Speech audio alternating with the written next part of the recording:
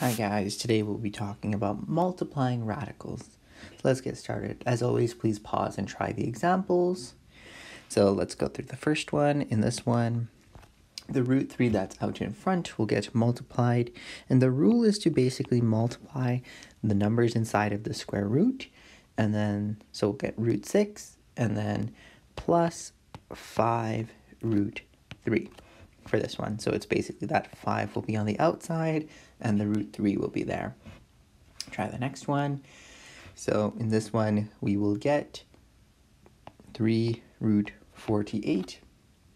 And we know that 48 from before can be divided and simplified.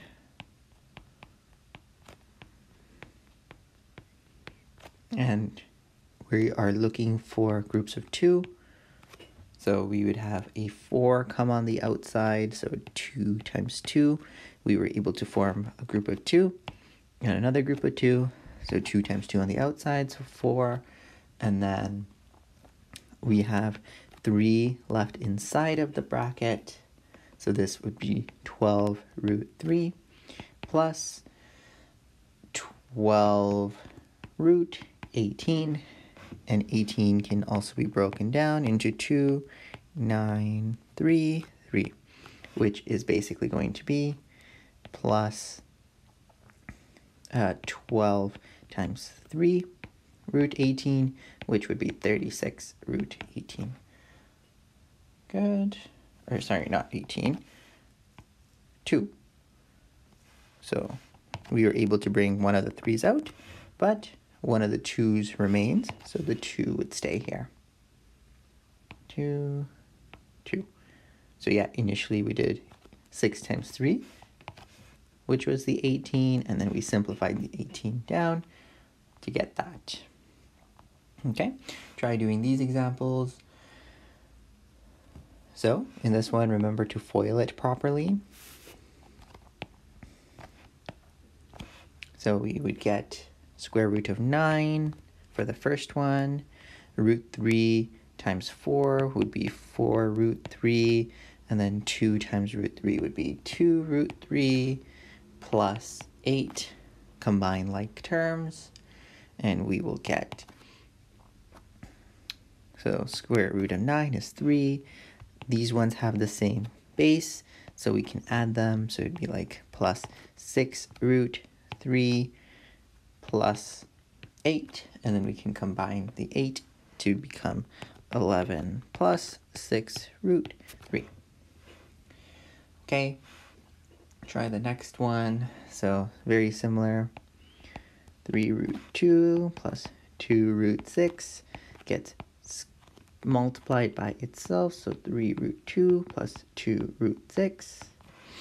So to do this, you would do the foiling. Don't just distribute this in. That is incorrect.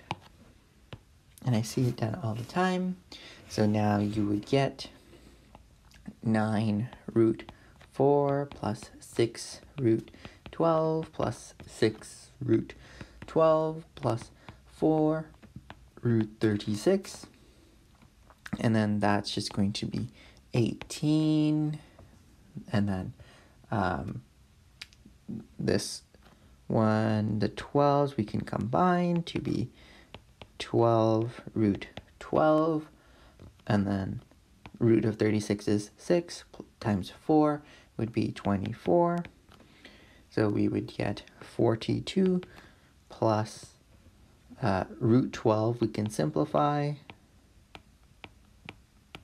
So we can take out a 2.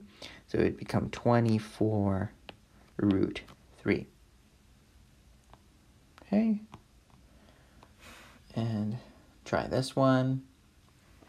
It's very similar. This is the same thing as 2x minus root y multiplied by 2 root x minus root y. So when we do this, we will get 4 root x squared minus 2 at root x y minus 2 root xy plus y squared. And then just simplifying that, we will get 4x plus y from here,